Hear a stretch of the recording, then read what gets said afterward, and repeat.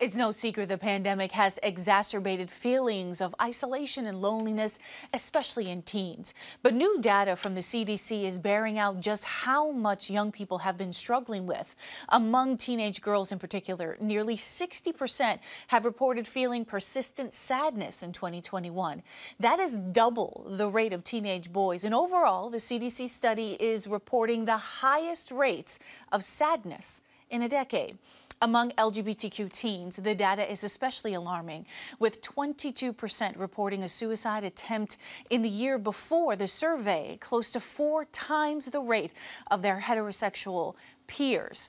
And for teens of color, violence in school is a serious concern. More than 10% of Indigenous, Black, and Hispanic students have reported uh, staying home over fear of violence, the most out of any other group. So, what's behind all of these numbers? And what can we do to help teenagers in this country feel safe and healthy? We're going to have a conversation about it. To discuss this, I'm with uh, Ivanna Solano. She is the founder and executive director of Love Your Magic. It is a group that holds conferences and camps and school programs to promote healthy development of black and brown girls. And Dr. Lovern Moseley is a child and adolescent psychologist at Boston Medical Center and a clinical assistant professor of psychology at Boston University School of Medicine. Welcome to you both. Thank you. Thank you. So, Dr. Moseley, I want to talk to you uh, because I know that you work with, um, you know, this population that seems to be the most vulnerable here when we're talking about these numbers. Um, did it surprise you that the CDC survey came up with these trends? Uh, not at all. Um, we over time we have seen, you know, increases in um, violence um, among young folks the pandemic itself bore out a whole new set of numbers uh, because a lot of individuals were really struggling with, um, you know, making that adjustment to being isolated.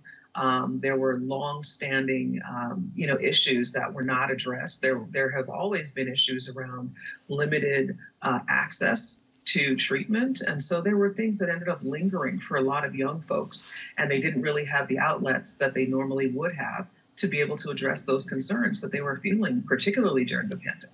And when we're talking about this number between teenage girls and teenage boys, the difference seems to be staggering. Um, what do you think contributes to that?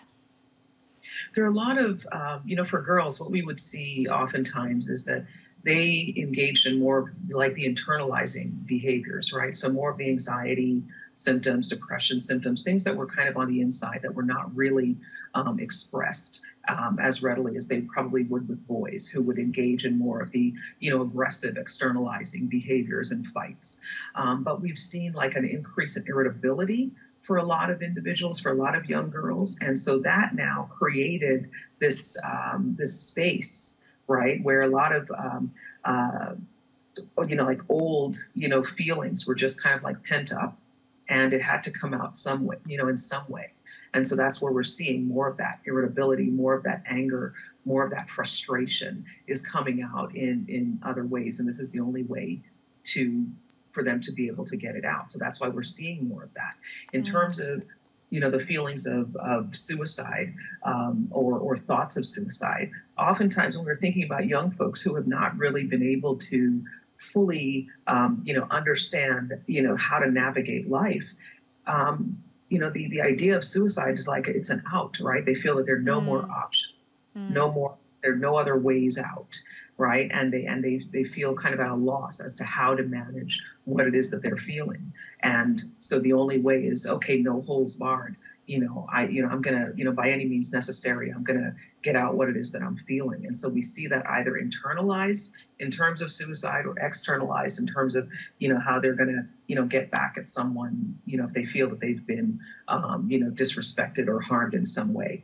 When we think also of social media and the amount of um, you know those upward ticks in uh, you know people recording aggressive behaviors. It's now become something that's more normalized in our in our culture and in our environments. And so it's like this is this is the norm. This is what we do. When we're upset or someone has disrespected us we have to now you know um, you know externalize these these these behaviors or these feelings. Yeah social media certainly changes the game.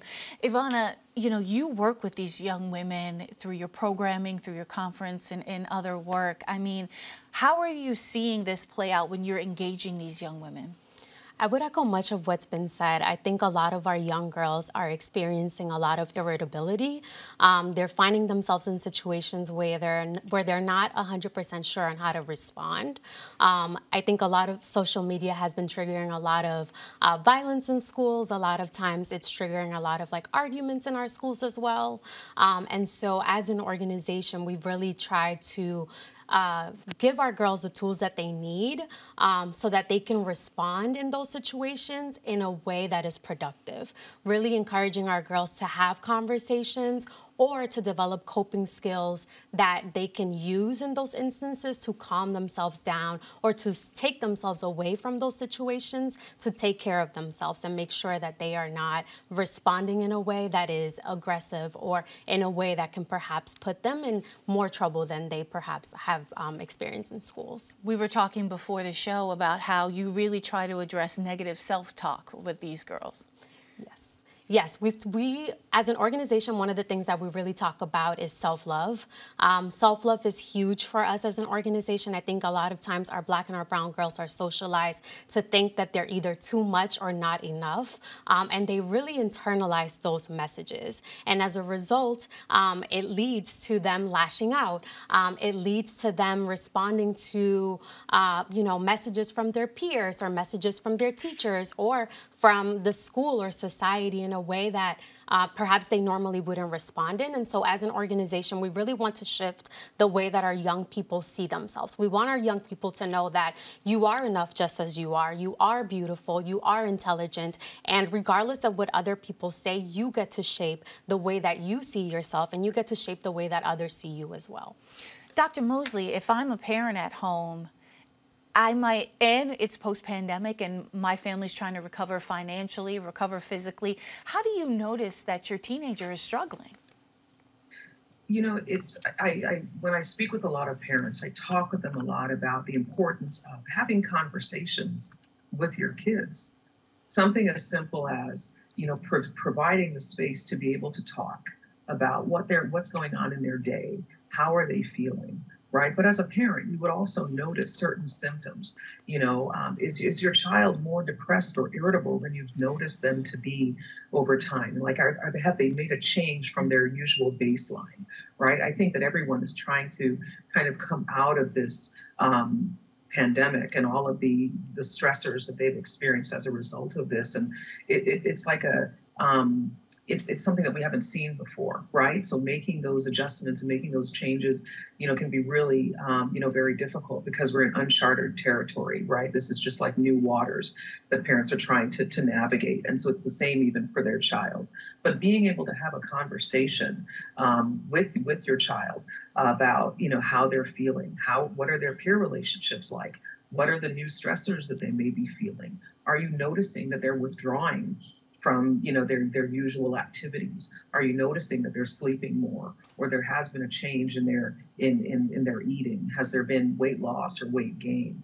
You know so be, doing something as simple as trying to engage with your child right and not avoiding some of those hard conversations is the place to start right? So if, if you um, you know can get back to some of those routines that that we may have had um, you know, in years gone by where folks were sitting down to have a meal together. Mm-hmm. In a lot of homes, that's not really happening much anymore. You know, everyone's kind of doing their own thing. But being able to create space for um, conversation, being able to also share, you know, that that there may be fears that you as a parent has you have have as well, you know, um, or things that you're nervous about or worried about, being able to kind of open the, the conversation and have that dialogue so that it um, so that we can remove that stigma that oftentimes is there around talking about mental health concerns. Mm. I want to pull out some numbers too from this uh, survey here. We know that of the number of teen girls who have experienced sexual violence,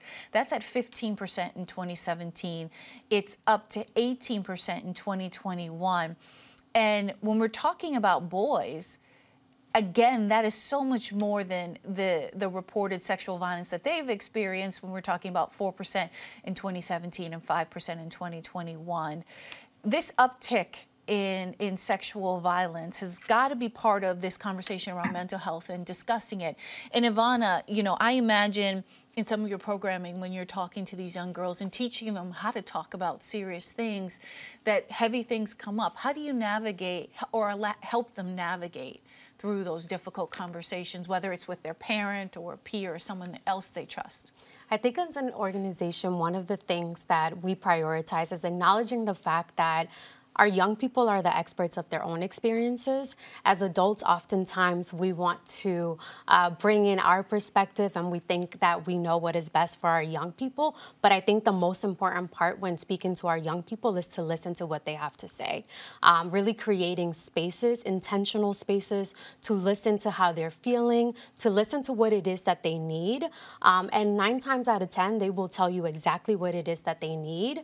Um, and together we can create in having those conversations, we can create um, a community where we can support each other. Um, I think for us, it's been really critical to have restorative conversations where we are discussing the difficult topics that perhaps are not being discussed at home. And I think one of the things that we really prioritize is not only supporting the young people, but also bringing in the caregivers that are supporting the young people that we are serving as well. Um, and I think it's really important to also provide services and supports to the family families because, you know, it's really easy to provide supports and to uplift and amplify our work and give young people the resources and the supports that they need. But if we're not doing the same with the adults, then a lot of that gets undone when they perhaps are going home or are going into schools and classrooms. And so we want to make sure that we as a community shift our perspective and realize that the well-being um, of our young people is our collective responsibility. Mm, Dr. Moseley, how important is this this access to mental health provider piece because we know that we've been hearing about these shortages in this space, especially people who specialize in treating young people. It, it's it's been really uh, you know really tough you know because even as we think about the collaboration between schools um, and even mental health providers that was something that pre-pandemic um, you know we tried to ensure was happening we had all of this time where kids who would normally, you know, maybe if they didn't have access to a primary care provider or access, you know, to a therapist, they were at least able to go to their school and have a guidance counselor or someone that they could speak to or a social worker they could speak to. We had this period of time where all of those, you know, those natural resources, you know, for lack of a better term, were they were gone. So kids were trying to navigate this path themselves right? And then with the pandemic, we had a lot of programs that closed. Mm. A lot of mm. programs that would have been like intermediaries, um, like partial hospital programs or inpatient um, uh, facilities, they, they reduced their numbers of, of, of beds, right? And, um, and, and a lot of folks probably felt kind of um, uh, at a loss as to where they could access services you know if they if they didn't have a, a space that they could actually go to and so folks were trying to deal with a lot of these things on their own. Mm. We're seeing, um, you know, such a, uh, you know, it's also a stress and a, a, strain even on the mental health system and on the providers because, you know, we're getting calls, you know, that, and, and we don't have enough providers to be able to, um, you know, create that support that's needed. Um, and so you know there's there's a call you know like a clarion call. I also have you know have a group private practice and i was talking with some of the providers yesterday about um, uh, you know it, making referrals of, of folks to come in because we don't have enough bodies to be able to um, treat the, the, the kids and the the adults who are coming in who are really in distress. Um, why there is a, a shortage? It's it's hard to say you know like which came first the chicken or the egg? Was it that um, you know, we had, uh, you know, people who left, you know, the work or there just wasn't enough access or now more people are aware um, that something is not right and they need, they need that help. And, and it's just too much for the system. Yeah. At this Absolutely. Well, we're going to have to leave this conversation. There's so much more to talk about, to think through. But I want to thank you both for being with me. Uh, Ivanna Solano, thank you so much. You. And Dr. Lovern Moseley, thank you. Thank you.